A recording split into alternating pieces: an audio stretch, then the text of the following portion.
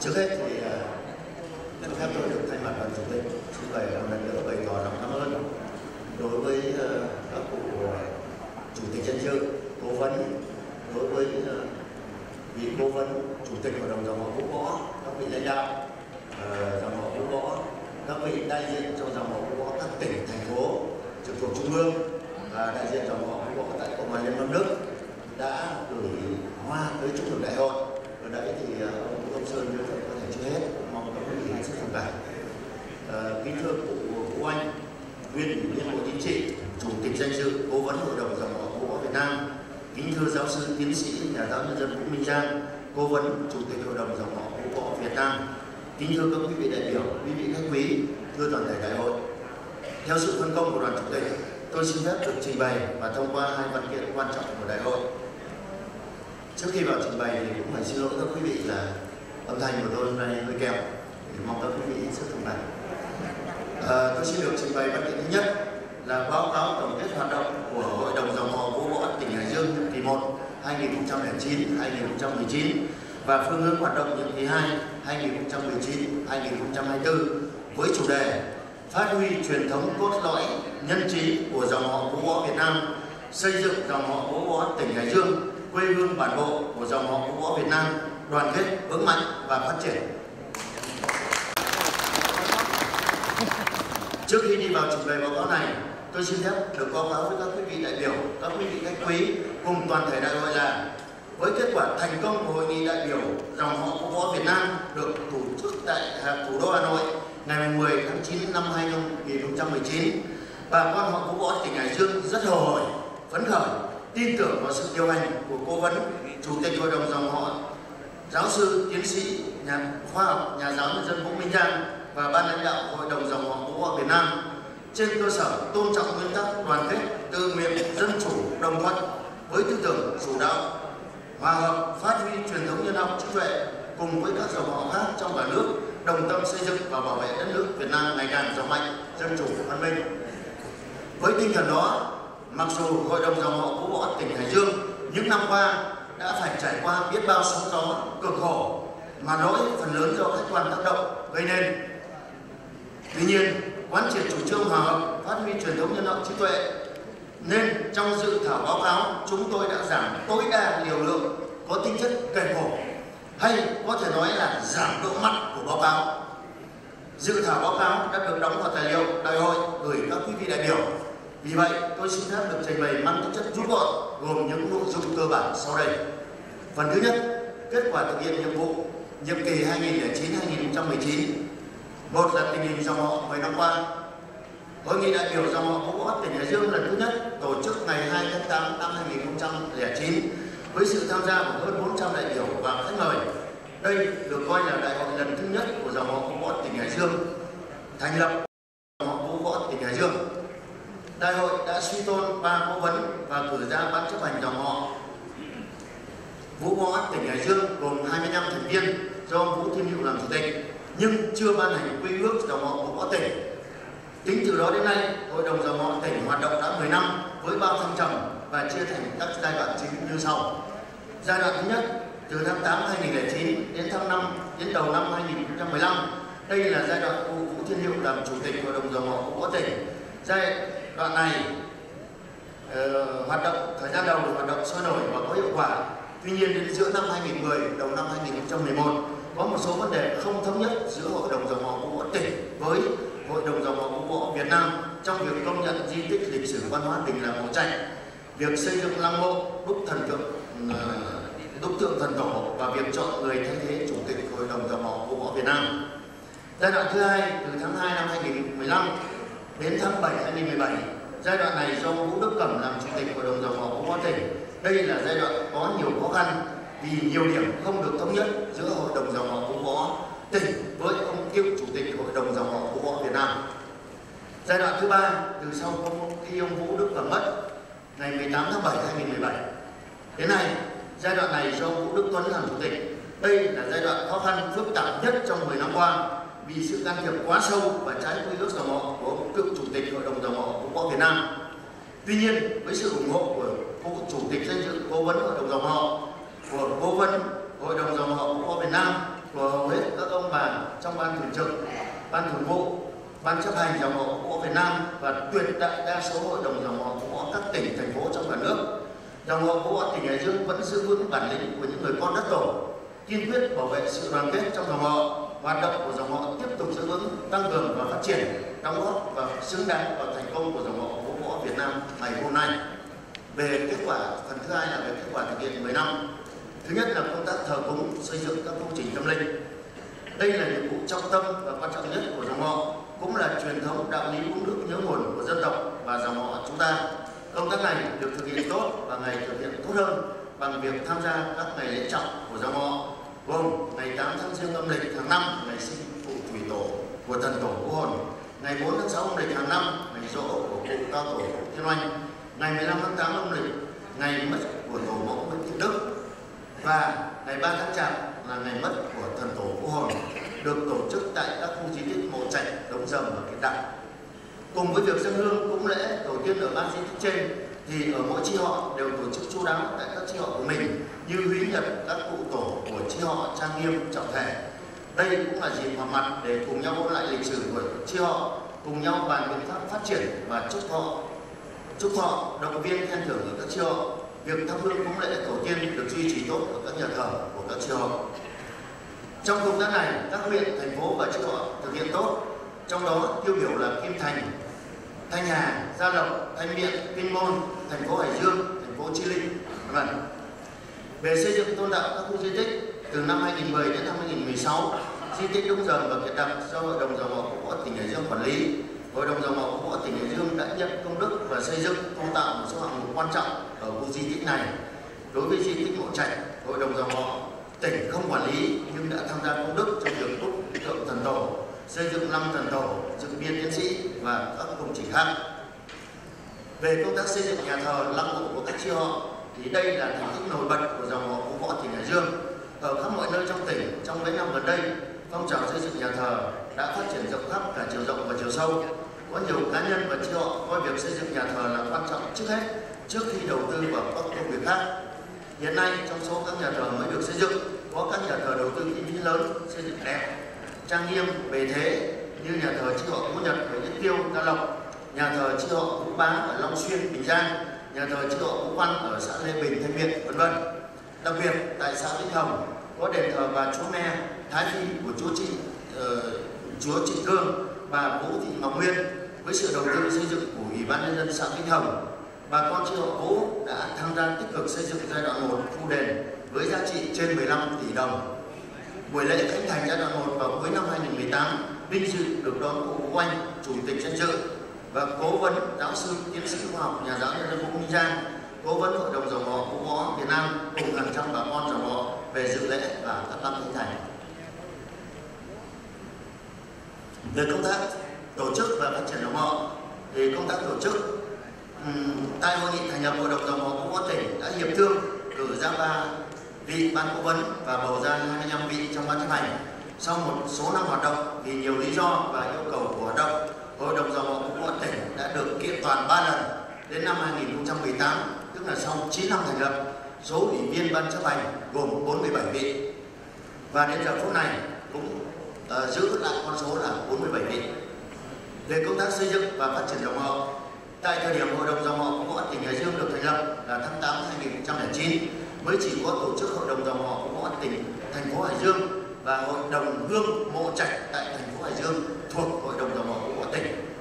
với sự chỉ đạo sát sao của hội đồng dòng họ cũng có tỉnh và nguyện vọng có tổ chức dòng họ để bà con tập hợp chung sức hoạt động từ tháng 9 2009 đến tháng 5 2018 đã phát triển được 11 trên 12 huyện thành phố có hội đồng dòng họ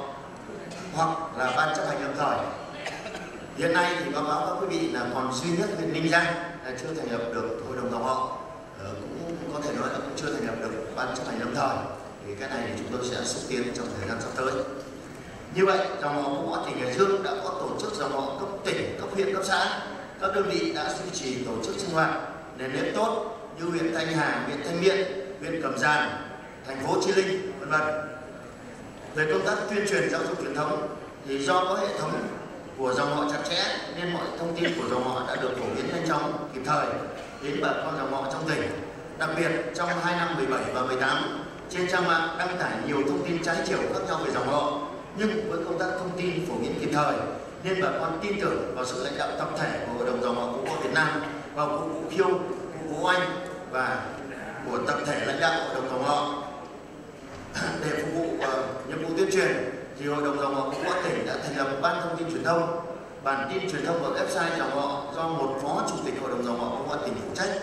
Đến nay, bản tin thông tin dòng họ đã xuất bản được nhiều số. Các bản tin đều có nội dung phong phú và hình thức đẹp, được bà con trong dòng họ đón nhận và hoan nghênh. Với đề xuất của một số học duệ xuất bản cuốn sách dòng họ vũ võ hiếu học nhân hậu trí tuệ trên đất văn hiến hải dương đã được bà con dòng họ hội đồng dòng họ vũ võ tỉnh và các huyện đồng tình ủng hộ hiện ban biên soạn cuốn sách đang tiến hành việc thu thập tài liệu ở gần 100 chi họ được bà con ủng hộ đón tiếp chân thành, nhiệt tình, trang hòa, tình cảm đồng tộc. Từ năm 2018, với sự thống nhất cao trong hội đồng Tổng họ của tỉnh, chúng ta đã tổ chức lễ trao cờ và thượng cờ ở gần 50 chi họ với nghi thức tổ chức trang trọng được bà con hồ hởi phấn khởi đón nhận. Xác định công tác giáo dục truyền thông là nhiệm vụ quan trọng, hội đồng dòng họ tỉnh đã kết hợp tốt với hội đồng dòng họ các địa phương tích cực xuống gặp gỡ cung cấp tư liệu thông tin dòng họ cho bà con trong các ngày lễ của các chi họ ngày lễ thành nhà thờ chi họ tổ chức cho bà con đi dâng hương tham quan bãi di tích của dòng họ trên đất hải dương. Qua việc làm tích cực này, nhiều chi họ đã tập hợp tốt bà con đoàn kết lại để cùng giúp nhau trong cuộc sống, việc làm, khuyến học, nhân đạo, từ thiện. Đã có nhiều chi họ và gia đình, mỗi khi làm các công việc lớn, quan trọng, đưa con đi thi, đi nhập học, đi làm, đi nước ngoài, đều đến nhà thờ chi họ mình, hay là về mộ trạch đống rồng, thiên đặng để thắp hương thỉnh cầu tổ tiên. Đây thực sự là việc làm đầy tính nhân văn và truyền thống tốt đẹp của họ võ tỉnh hải dương về công tác thi đua khen thưởng nhân đạo từ thiện khuyến học khuyến tài công tác thi đua khen thưởng khuyến học khuyến tài đã được hội đồng dòng họ tỉnh và hội đồng dòng họ các huyện thành phố và các chi hội thực hiện khá tốt. Các trường hợp được khen thưởng đều có công lao đóng góp cho dòng họ. Việc làm ý nghĩa này đã giúp cho Hội đồng dòng họ của võ tỉnh và các địa phương vận động phát triển thêm nhiều tập thể và cá nhân làm việc họ, gắn bó với họ, khích lệ tinh thần học tập phấn đấu vươn lên của các học dạy. Trong phong trào khuyến học có nhiều chi hội tiêu biểu, trong đó chi họ Vũ Đức ở xã Vũ Hùng, huyện Thanh Miện đã được Hội khuyến học Việt Nam tặng bằng khen và báo cáo điển hình tại Hội nghị khuyến học toàn quốc năm 2013. Về hoạt động của dòng họ uh, Hội đồng dòng họ cũng Võ tỉnh thì như đã trình bày là 10 năm qua có nhiều biến động đối với dòng họ của Võ tỉnh Hải Dương xong với nhiệt tình tâm huyết với tổ tiên và việc họ hội đồng dòng họ cũng có tỉnh hội đồng dòng họ cũng có các huyện thành phố và các đơn vị câu lạc bộ trực thuộc hội đồng dòng họ cũng có tỉnh đã khắc phục khó khăn yêu thương đùm bọc dành nhiều thời gian công sức và tiền bạc cho hoạt động dòng họ vì vậy hội đồng dòng họ cũng có tỉnh ngày càng đứng vững và trưởng thành đã xây dựng hội đồng dòng họ cũng có tỉnh mạnh về tư tưởng và tổ chức. Đến lúc này khẳng định là dòng họ cũng có tỉnh Hải Dương có nhiều người tâm huyết, nhiệt tình, trí tuệ, năng lực để hoàn thành tốt nhiệm vụ được giao, đáp ứng dòng mong mỏi của bà con dòng họ trong tỉnh cũng như toàn quốc. Về à, hạn chế nhiều điểm và nguyên nhân, trước hết là về hạn chế nhiều điểm. Trong 10 năm qua, đều khẳng định với nhiều điều kiện thuận lợi, song cũng có nhiều khó khăn phức tạp đặt xen với tâm lòng thành kính của tổ tiên hết lòng làm việc họ với sự nỗ lực phấn đấu của bà con dòng họ trong toàn tỉnh hội đồng dòng họ của có tỉnh hải dương đã thu được nhiều thành tích quan trọng đóng góp xứng đáng với dòng họ của bộ việt nam. Song nghiêm túc và thẳng thắn kiểm điểm thì hoạt động dòng họ cũng còn một số hạn chế khuyết điểm, đó là chưa tập hợp được sức mạnh của những người con dòng họ quê hải dương đang công trên mọi lĩnh vực ở các địa phương. Phong trào hoạt động dòng họ chưa đều, chưa rộng khắp, vẫn còn một số địa phương chưa tổ chức được đại hội dòng họ. Hiện nay thì còn ba đơn vị cấp huyện có ban chấp hành lâm thời, nhưng chưa tổ chức được đại hội công tác tuyên truyền giáo dục truyền thống khuyến học khuyến tài có lúc có nơi chưa thực hiện tốt. Về câu lạc bộ doanh nhân uh, hoạt động chưa thực sự hiệu quả chưa theo đúng quy ước của câu lạc bộ. Về nguyên nhân hội đồng dòng họ võ tỉnh qua nhiều lần kiện toàn nhưng chất lượng hoạt động chưa tốt. Còn hoạt động dập khuôn bằng những hành chính chưa tuân thủ đúng nguyên tắc hoạt động dòng họ là tự nguyện đồng thuận dân chủ và kỷ cương dòng họ. Về hội đồng dòng họ các địa phương còn biểu hiện ngại khó ngại khổ ít đi sâu sát vận động bà con, tham gia vận động cà mau. Câu lạc bộ doanh nhân bị ờ, biến động nhiều về tổ chức, thậm chí có những chuyển đổi ờ, không tốt về mặt tư tưởng. Về công tác xây dựng bộ máy của dòng họ chưa tốt, nên đã đưa vào hội đồng dòng họ một số cá nhân thiếu nhiệt tình, năng lực hạn chế, giao việc không làm, có trường hợp gây mất phần kết trong họ. Một thời gian dài dòng họ bị ông cựu chủ tịch hội đồng dòng họ của Việt Nam nhiều vấn đề không tuân thủ quy ước dòng họ làm tình hình phức tạp và khó khăn thêm. À, tôi xin phép sang ờ, phần thứ hai là phương hướng mục tiêu nhiệm vụ kỳ 2019 2024 tình hình nội bộ dòng họ của Hải Dương đã có nhiều chuyển biến tích cực nhưng sự hòa hợp mới chỉ là bước đầu. Còn rất nhiều việc cần phải hợp tâm hợp lực để đổi mới nâng tầm hoạt động của dòng họ không chỉ vì dòng họ mà còn vì địa phương tức là vì tỉnh và vì cả nước vì vậy, đại hội xác định những phương hướng chủ yếu và trọng tâm cụ thể trong nhiệm kỳ 2019-2024 như sau. Một là mục tiêu nguyên tắc hoạt động. Về mục tiêu là quy tụ đoàn kết dòng tộc, vũ võ trên toàn tỉnh và toàn quốc, xây dựng, phát triển dòng họ vũ võ tỉnh hải dương bền vững, góp phần phát triển quê hương và đất nước, đem lại ấm no, hạnh phúc cho toàn dân, sự thịnh vượng, hùng cường cho tổ quốc việt nam. Phát huy giá trị cốt lõi nhân trí của dòng họ vũ võ việt nam phát huy tinh thần tương thân tương ái, hỗ trợ và giúp đỡ các thành viên, gia đình thành viên dòng họ trong cuộc sống, học tập, công tác. Giáo dục con cháu trở thành công dân tốt, giữ gìn thuần phong mỹ tục, thanh danh dòng tộc thực hiện nghiêm quy ước dòng họ của việt nam và quy ước dòng họ của tỉnh hải dương. Thực hiện đúng đường lối, chủ trương của đảng, chính sách pháp luật của nhà nước, quy định của địa phương, góp phần tích cực đảm bảo an ninh quốc phòng, phát triển kinh tế xã hội, văn hóa, giáo dục ở địa phương và trên phạm vi cả nước về nguyên tắc hoạt động là tự nguyện đoàn kết đồng thuận dân chủ, đổi mới và kỷ cương dòng họ. Lấy địa bàn dòng họ cấp huyện là đơn vị tự chủ, tự quản. Các tổ chức thuộc hội đồng dòng họ của các tỉnh chỉ hướng dẫn thêm khi có yêu cầu và làm cầu nối liên kết dòng họ của các huyện, thành phố, thị xã với nhau, chú trọng hướng hoạt động về cơ sở. Những chủ trương lớn hoạt động của dòng họ ờ, tỉnh phải do hội đồng dòng họ của các tỉnh bao gồm đại diện cả hội đồng đồng của cấp huyện bàn bạc tập thể và quyết định. Thứ hai là về nhiệm vụ cụ thể. Về công tác thờ cúng chiên báo đất tổ tiên, tiếp tục làm tốt hơn nữa việc thờ cúng chiên báo đất tổ tiên, chờ điển công ơn chờ điển của tổ tiên, tổ chức trao tặng và thượng cờ họ vũ trên các nhà thờ chi họ khi có yêu cầu. Về công tác phát triển dòng họ kiện toàn bộ máy lãnh đạo của đồng dòng họ có tỉnh hải dương theo nguyên tắc có đổi mới, có kế thừa thành lập các ban và các câu lạc bộ theo quy dòng họ để điều hành và tổ chức mọi hoạt động của dòng họ của tỉnh hải dương. Phát triển dòng họ cả về chiều rộng và chiều sâu, phấn đấu ở đâu trong tỉnh hải dương có người họ vũ sẽ có tổ chức dòng họ. Ngay năm đầu của nhiệm kỳ, phấn đấu ba huyện còn lại tổ chức đại hội trong năm 2019 và 2010 à 2020 bên cạnh việc phát triển dòng họ, cũng chú ý tổ chức các hoạt động hướng về cội nguồn để chiên đầu tiên đồng thời, khuyến khích hoạt động dòng họ cấp huyện và ban liên lạc dòng họ cấp xã, tổ chức gặp gỡ giao lưu để tăng cường sự gắn kết, thắm tình đồng tộc, trao đổi kinh nghiệm xây dựng và phát triển dòng họ. Về công tác thông tin tuyên truyền, giáo dục truyền thông ngay sau đại hội, ban thông tin truyền thông phối hợp với đại hội dòng họ các huyện, thành phố, thị xã tổ chức tuyên truyền sâu rộng về kết quả của đại hội.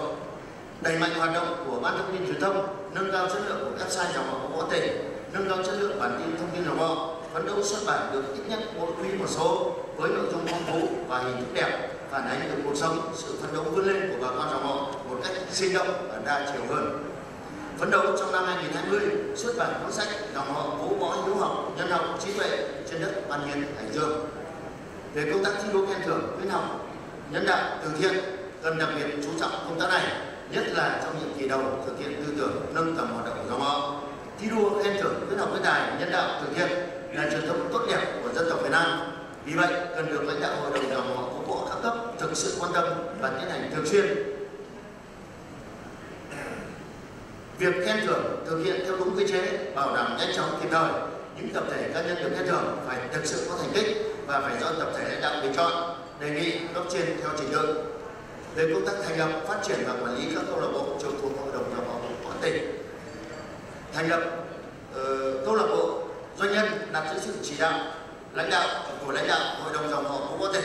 câu lạc bộ doanh nhân thu hút doanh nhân tâm huyết, cùng chí hướng, hoạt động đúng pháp luật, lấy lợi nhuận làm mục tiêu của từng doanh nghiệp,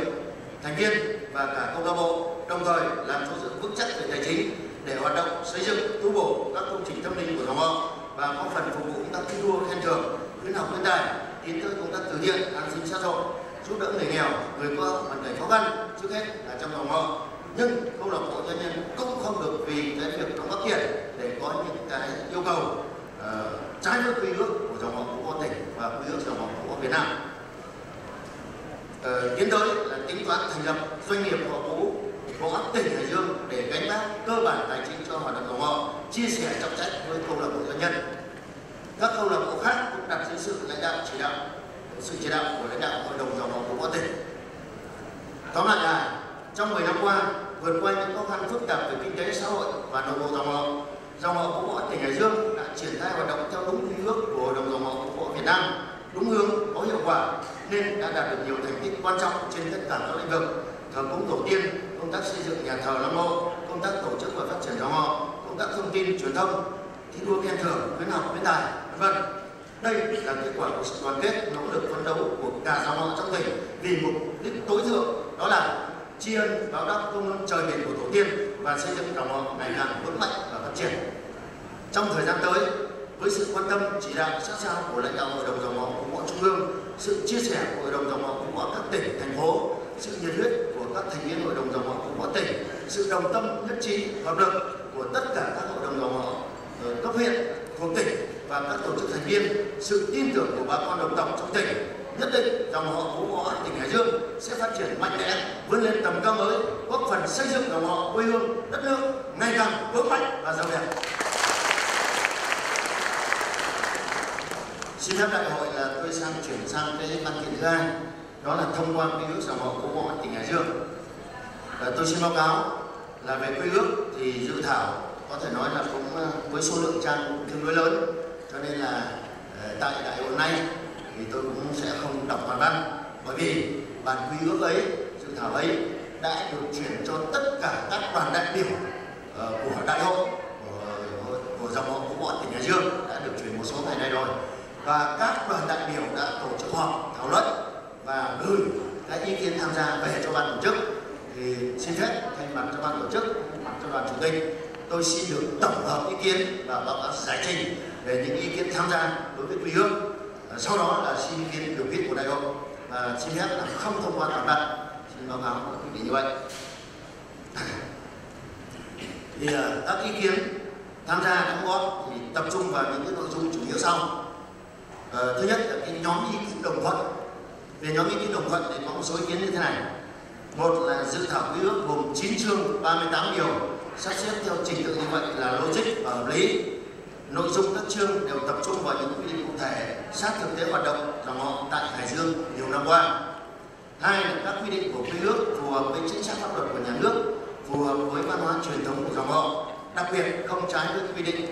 của quy ước dòng họ Vũ Quang Việt Nam được đại hội 8 thông qua. Ba là quy định quyền hạn trách nhiệm của thành viên do dòng họ của các chức danh trong ban chấp hành là cụ thể và phù hợp, nhất trí cao quy định trong nhiệm kỳ Ờ, uh, ủy viên ban chấp hành dòng họ một năm hoặc không hoàn thành nhiệm vụ được giao và hai năm không tham gia sinh hoạt theo chức trách thì đề nghị cho thôi chức trách ủy viên ban chấp hành. Tránh tình trạng như vừa qua không quy định cụ thể nên có người không tham gia sinh hoạt nhiều năm nhưng vẫn giữ chức vị là không bình thường. Thứ bốn là nhất trí quy định các ủy viên ban chấp hành phải tham gia sinh hoạt tại tổ chức dòng họ cơ sở cấp huyện hoặc tổ chức trực thuộc và do tổ chức cơ sở đề cử giới thiệu để bầu vào ban chấp hành. Những trường hợp đặc biệt thì ban chấp hành có quy định riêng cụ thể. Quy định này phù hợp với nguyên tắc dân chủ trong hoạt động của họ. Về nhóm ý kiến thứ hai là nhóm ý kiến góp ý sửa đổi và đề xuất bổ sung. Ý kiến thứ nhất uh, tôi cho là cái ý kiến này cũng rất là tâm huyết và cũng uh, kính mong vì uh, chủ tịch danh dự cố vấn uh, ông uh, cố vấn tịch và các lãnh đạo hội đồng dòng họ của trung ương. Ờ, lãnh đạo hội đồng dòng họ của các tỉnh lắng nghe và có thể là sẽ tham vấn thêm đối với hội đồng dòng họ của trung ương. Ý kiến đề xuất thứ nhất là về cờ của dòng họ. Ý kiến đề xuất rằng dòng họ của Việt Nam đã dùng lá cờ có chữ vũ tại các di tích, nhưng đó chỉ là lá cờ may sẵn, có đặt thêm chữ vũ ở giữa. Lá cờ này chưa được chuyên gia có ý kiến và dòng họ đưa ra thảo luận dân chủ chưa được hội nghị dòng họ cả nước nhất trí lựa chọn, là chuẩn chung cho dòng họ cả nước. Các dòng họ khác như họ lưu, họ đồng, họ đậu đó đấy, đều có mẫu cờ do các chuyên gia thiết kế và đưa ra, lấy ý kiến dân chủ được hội nghị toàn quốc nhất trí thông qua, đưa vào nghị ước vì vậy, họ cố cần chuẩn hóa lá cờ chung là biểu tượng màu cờ sắc áo cho ờ, màu cờ ờ, cho dòng họ có lịch sử văn hiến lâu đời. Ý kiến này đề xuất là đưa vào quy ước của dòng họ Hải Dương thì báo cáo các quý vị và các đại hội là uh, có thể nói là ban tổ chức rất trân trọng ghi nhận và trân trọng cái ý kiến uh, của tham gia về việc là là là là là, là phải có quy định về cờ. Nhưng mà đây là cờ chung của dòng họ vũ võ Việt Nam. Cho nên hội đồng dòng họ vũ võ tỉnh Hải Dương sẽ đề xuất với hội đồng dòng họ vũ võ Việt Nam để có cái quy định về cờ và ban hành mẫu cờ cụ thể. Tất nhiên trong đề xuất này đề xuất rất cụ thể về mẫu cờ gồm năm màu ra làm sao ở giữa màu gì đi ra các thiên cạnh là màu gì vân vân thì cái đó dài quá tôi xin phép không báo cáo đây. Tới đây hội đồng dòng họ vũ Hải Dương sẽ có báo cáo đề xuất và có nghiên cứu bằng tính chất tâm linh. À, năm à, màu ở lá cờ đó ra làm sao thì sẽ để cho cụ thể. Thì chứ không đưa vào cái quy ước của dòng họ cũng có một cấp của một tỉnh được. Về lá cờ của cả nước được báo cáo với các ờ, đại hội là như vậy và với đại biểu đã tham gia ý kiến như thế, rất trân trọng, rất tiếp thu, nhưng không thể vào đưa vào quy ước của một tỉnh quy định về một lá cờ của cả nước được. Xin báo cáo các quy định vậy. Về ý kiến thứ hai là quy định cấp xã không thành lập hội đồng dòng họ, mà thành lập ban liên lạc theo quy ước của đại hội tám nhiều ý kiến nêu thực tế các địa phương cấp xã, thôn ờ, có nơi một xã ờ, thôn có nhiều chi họ cùng huyết thống chung một thần tổ có nơi nhiều chi họ khác thần tổ do yêu cầu hoạt động dòng họ nhiều năm nên đã thành lập hội đồng dòng họ các xã, thôn đang hoạt động bình thường, có nơi chưa thành lập. Do vậy, quy định của trung ương là đối với những nơi sẽ thành lập. Ờ, quy ước của tỉnh quy định không trái với trung ương, nhưng cần thêm khoản những nơi đã hình thành tổ chức theo truyền thống, tiếp tục hoạt động bình thường. Nếu đồng thuận thì đổi tên, chưa đồng thuận thì tạm thời giữ nguyên. Như vậy, tránh gây phiền hà cho cơ sở. Thì dự thảo đã tiếp thu ý kiến này về thứ ba là quy định hội nghị mở rộng dòng họ có ý kiến cho rằng quy ước đại hội tám không quy định nên không đưa vào đa số ý kiến thì nên đưa vào vì thực tế hoạt động dòng họ nhiều năm qua đặt ra khi có yêu cầu đột xuất, bức thiết giữa hai kỳ đại hội mà không phải triệu tập đại hội bất thường, nhưng cần có ý kiến dân chủ rộng rãi của dòng họ kiểu như hội nghị dân đồng để giải quyết nhiệm vụ đột xuất bước thiết đó thì nên triệu tập hội nghị dòng họ mở rộng, thành phần toàn thể ban chấp hành đại diện dòng họ các huyện các tổ chức trực thuộc à, có thể à, tùy lúc bây giờ do lãnh đạo dòng họ thường trực thường vụ tính toán có thể mời tổ tư vấn có thể mời thêm một số cụ à, các vị cao niên trưởng lão có uy tín trong đó tiến dự cái này là có thể thôi nhá xin phép các quý vị. À, để họ bàn và quyết sách dân chủ giải quyết nhiệm vụ bức thiết đó. Điều này phù hợp với nguyên tắc dân chủ đồng thuận vừa đảm bảo tính công khai minh bạch trong hoạt động của dòng họ. Ờ, thực tế dòng họ hải dương vừa qua đã tổ chức hội nghị này để bầu ông vũ đức tuấn làm chủ tịch thay cho vũ đức cẩm từ trần. Dòng họ vũ võ việt nam tổ chức hội nghị hòa hợp đoàn kết sở bọ ngày 10 tháng 9 năm 2019 với cách đây hai ngày, cũng là một dạng hội nghị mở rộng đặc biệt này. Do vậy, cần thể lệ hóa trong quy ước để hoạt động có cơ sở pháp lý mang tính chuyên nghiệp hơn. Dự thảo đã nhất trí đưa nội dung này vào quy ước về điểm thứ tư là ban tư vấn của họ. Sau khi tham khảo ý kiến các huyện thành phố đa số không nhất trí có chức uh, danh chủ tịch xây dựng và cố vấn dòng họ vũ võ tỉnh hải dương mà chỉ nên là tổ tư vấn. Thực tế kỳ qua ở hải dương có chức danh cố vấn nhưng mà không phát huy tác dụng nên nội dung chủ tịch xây dựng và cố vấn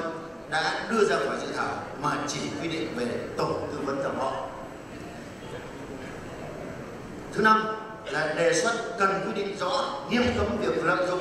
chức trách được giao, lợi dụng việc công đức để can thiệp vào hoạt động dòng họ các cấp vì mục đích cá nhân. Thực tế đã có những biểu hiện trên trong hoạt động dòng họ gây dư luận bức xúc, gây mất đoàn kết dòng họ, dự thảo nhất trí quy định cụ thể này. Cái thứ sáu là quy định về lễ hội và ngày vĩ nhật. Có ý kiến đề nghị bổ sung một điều quy định về lễ hội và ngày vĩ nhật